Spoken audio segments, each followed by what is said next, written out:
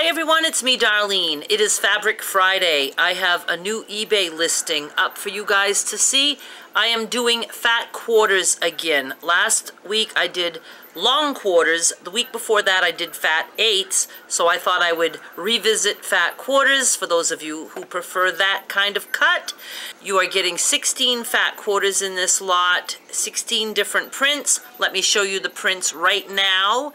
Do know that when you see the images, the fabric hasn't been cut yet. You're seeing the whole three yards of each print folded. So I don't want you to think you're getting that gigantic piece of fabric. I haven't cut yet, even though the listing says I did. I'm going to start cutting there in just a little bit. So here are the images.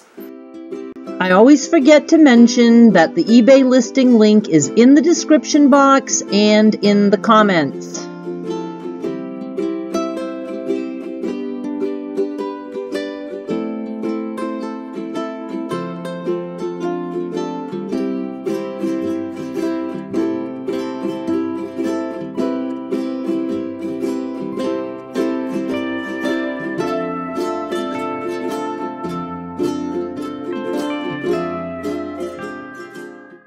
The images are also on eBay, so please go study them if you feel the need to.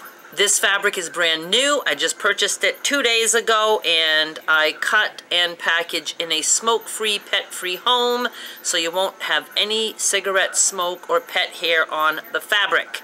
Fat quarters are approximately 18 inches tall by 22 inches wide. The width is determined by the width of the fabric a fat quarter is half the width of the fabric by 18 inches tall. I can usually get a little bit more out of it, but you will get at least 18 inches tall. If some of them are a little bit taller, that's just because I had a generous cut and I passed on those extra inches to you guys. I do not rotary cut these, I just cut on the fold. So you might see some little unevenness, but you'll get your fat quarter in there. 16 fat quarters equals 4 yards of fabric, so you will be getting a total of 4 yards.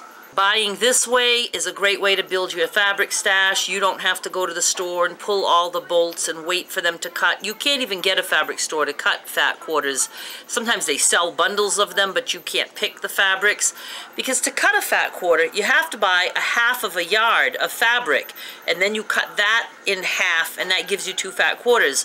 So to get just one fat quarter of each print, you'd have to end up buying a half a yard of each print. So it's a good way to get fat quarters in your stash.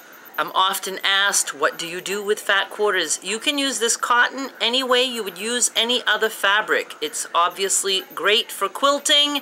You can also make patchwork garments, hippie skirts, patchwork shirts, tote bags. You can embellish hats. You can make doll clothes, children's clothes, soft toys, pet beds, just anything that you can think up, you can make with cotton. Cotton rocks.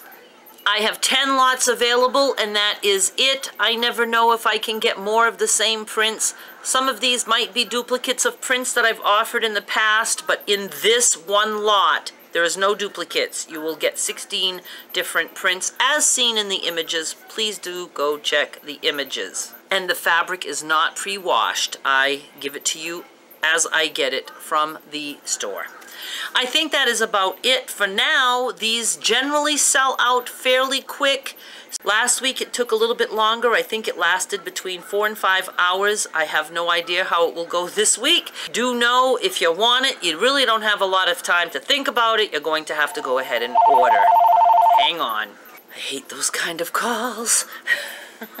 I guess that was it. I was wrapping things up. I was just trying to let you know you can't drag your feet. You either have to place your order or not. And I do have a lot of people saying to me, if anybody backs out, let me know. Nobody can back out of this. These are buy it now. This is a fixed price listing and, they have to pay immediately in order for the order to go through. So there's no backing out. It's not like uh, certain auctions where somebody can bid and then just never pay. The only way that the amount is going to get decreased from the amount of lots that I have available is if somebody has already paid for it. So that's how it works with these.